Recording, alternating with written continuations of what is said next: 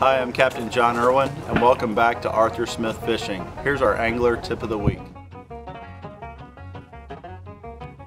Hi, I'm Captain Tucker Blythe, and today I'm going to show you a lure I use primarily in the wintertime for redfish. It's a new Hogy Bunny. This is a bone color. Um, in the wintertime, redfish feed primarily on bait fish.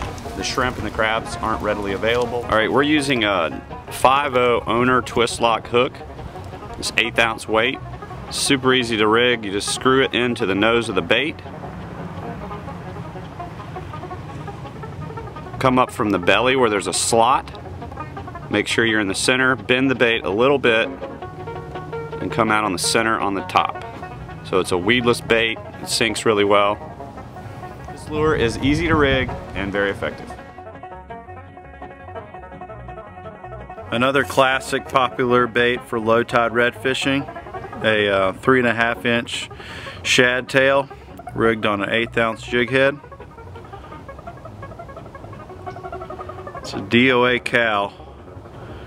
You always know you're coming out about the right spot. You come right out of the middle of the O in the DOA. Right there. This is a DOA CAL um, jerk bait.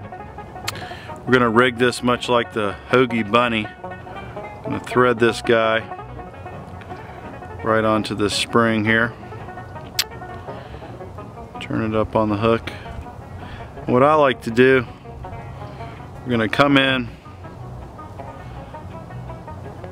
through the slotted side of the bait.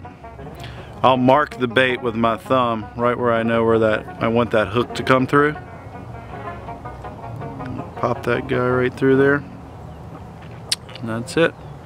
Just want to make sure it's nice and straight.